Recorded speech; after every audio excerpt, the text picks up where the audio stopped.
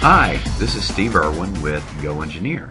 I just wanted to show some quick tips on how to apply appearances to a model within uh, a SOLIDWORKS uh, file. Uh, first thing you want to do is you want to go in and open up the uh, appearances uh, category inside of the um, task pane. You could go ahead and tack it if you know that you're going to be applying multiple appearances. Let's start out by applying an overall appearance to this um, solid sphere. So I'm going to come in and the appearance I'm going to apply is the satin or matte type finish to the global part. I'm going to use a color to make it a little bit more interesting. I'm going to drag it over here and just drop it on our sphere. When I do that, I get a variety of different categories I can apply the um, color to, or the appearance. I'm going to choose the part level, which will apply it to the entire part. That will give it that blue satin appearance.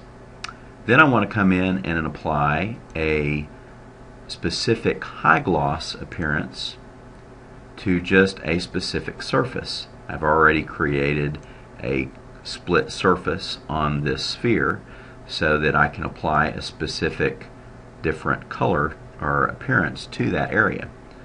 Again, I'm going to drag it over the area that I want to apply to, and then I hover over my face that I want to apply that high gloss appearance to.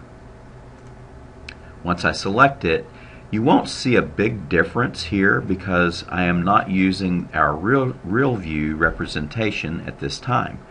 So if I want to really see the surface change in appearance, if I come up to the little view settings, I can come in here and I can turn on my RealView graphics card and now we can see our uh, full definition easily between the satin finish or matte finish and the high gloss area finish.